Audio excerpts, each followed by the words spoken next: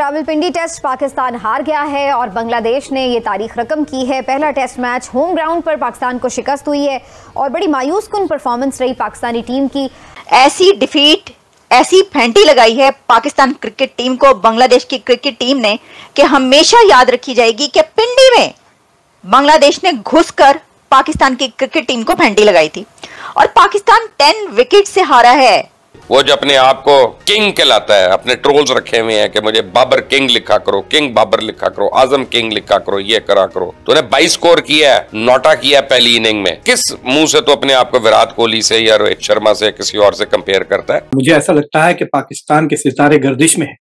मतलब हर पहलू में, हर जगह पॉलिटिक्स को ले लें इकोनॉमिक्स को ले लें क्रिकेट को ले लें हॉकी को ले लें, किसी भी चीज़ में they seem to be having bad luck या अनहैप्पीनेस मुझे ऐसा लगता है कि खुदा ने उनको बिल्कुल छोड़ दिया है। मगर अगर इसी तरह से परफॉर्मेंस करते रहेंगे तो फैंस भी भाग जाएँगे। जैसे मैंने कहा कि पाकिस्तान क्रिकेट वैसे ही दबाव में है और ये दबाव बढ़ जाएगा अगर आप ये सीरीज़ बांग्लादेश से हार जाते हैं नमस्कार दोस्तों स्वागत आप सभी का एपी हिंदुस्तान चैनल पे। तो इसमें कोई दो शक नहीं कि जिस तरह से इस वीडियो के अंदर डॉक्टर मुक्तदर खान ने कहा कि पाकिस्तान के सितारे गर्दिश में हैं और लगता है कि पाकिस्तान को ऊपर वाले ने भी साथ छोड़ दिया है, जिसका कि पाकिस्तानी दिन रात जाप करते रहते हैं।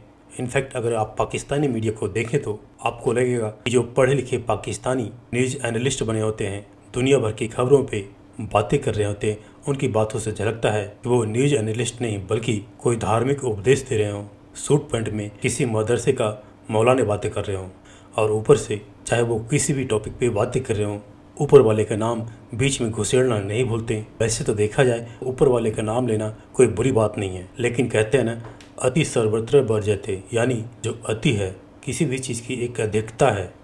अगर वो एक सीमा से पार कर जाए तो वो नुकसान ही करता है, चाहे वो कितनी ही अच्छी चीज़ क्यों ना हो। एक एग्ज़ाम्पल से आप समझ सकते हैं इसको। सिंपली तरीके से कि चीनी खाने में बहुत मीठी लगती है। अच्छी लगती है। लेकिन उसको अगर एक मात्रा से ज़्यादा खाया जाए तो वही चीनी, वही मीठी चीज़ें हमारे बॉडी के लिए जहर का काम करती है।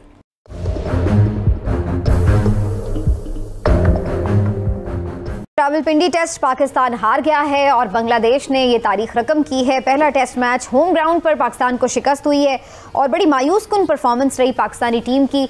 अच्छा परफॉर्म नहीं कर पा रहा पाकिस्तान क्रिकेट उसके ऊपर पहले से ही तनकीद हो रही थी, लेकिन बांग्लादेश, जो कि बहुत स्ट्रॉन्ग टीम नहीं है, उसके बावजूद भी हम अपने घर में उनसे हार रहे हैं और टेस्ट मैच हार रहे हैं। तो इसके ऊपर ज़ाहिर है कि वजूहत तो तलाश करनी चाहिए। आप चाहे टी की बात कर लें वनडे की बात कर लें टी वर्ल्ड कप में जो परफॉर्मेंस रही बड़े बड़े नाम है हमारी टीम में बाबर की बात कर लेते हैं वो वो उसमें भी नहीं चले। तो हर फॉर्मेट में पहले हमें बताया जा रहा था देखिए वहाँ ये हो गया कि पहले बाबर को हटाया फिर शाहीन को लाया फिर शाहीन को हटाया फिर बाबर को लाया ये वाले मसले। हैं लेकिन ओवरऑल तीनों फॉर्मेट की बात कर लें परफॉर्मेंस क्यों नहीं दे पा रहे हमारे प्लेयर्स देखिए सामने है ना चीज़ें जब इनसाइड ही आपको सब अच्छा लग रहा हो और हम बाहर बैठ के कह रहे हैं अच्छा नहीं है। हम्म। और कुछ चीज़ें ग्राउंड में हमें नज़र आ जाती हैं कि ये ये इसलिए हो रहा है। देखिए ज़ाहिर है जिस जिस तरह की क्रिकेट हमने खेली और जो हालात पिछले छः महीने से चल रहे थे, और सब समझ रहे थे शायद ये सीरीज़ में हम अच्छी तरह उनको हराएँगे और उसके बाद सारी चीज़ें छुप जाएँगी जो सर्जरी की बात हो रही थी, वो बस हवा में ही मेरे हिसाब से रह गई और कुछ भी नहीं हुआ और फिर अजहर महमूद साहब असल जो हैं वो असल अजहर महमूद साहब।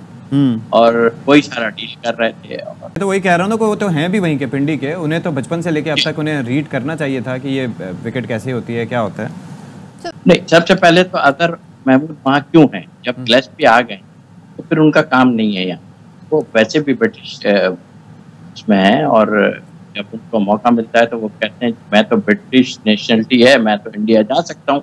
और वो चले जाते हैं। हम्म। मतलब ये एक अजीब सी कहानी है गिलेस्पी अगर चार पेसर खिलाना चाहते हैं उनका मशवरा था मेरा नहीं ख्याल, उनका मशवरा था तो ये उनसे पूछे कोई कि आप जब खेलते थे या इस वक्त के दौर में भी, आपके ऑस्ट्रेलिया में इतने पेसर खेलते हैं, क्या स्पिनर नहीं खेलता? नेथन लॉइन आपका रेगुलर बॉलर है। तो मुझे लगता है कि पाकिस्तान के सितारे वाकई में गर्दिश में हैं और इसलिए पाकिस्तान मतलब हर पहलू में, हर जगह पॉलिटिक्स को ले लें इकोनॉमिक्स को ले लें क्रिकेट को ले लें हॉकी को ले लें, किसी भी चीज़ में they seem to be having bad luck या अनहैप्पीनेस मुझे ऐसा लगता है कि खुदा ने उनको बिल्कुल छोड़ दिया है। I mean this is a country जहाँ सब लोग इतना अल्लाह अल्लाह अल्लाह करते हैं। तो पॉलिटिक्स में भी खुदा को लेके घसीटते हैं क्रिकेट में भी घसीट लेते हैं। पचास हो गई, सजदा कर दिया। सेंचुरी हो गई, सिजदा कर दिया। मैच जीत गए, सिजदा कर दिया। अब अब क्या हुआ?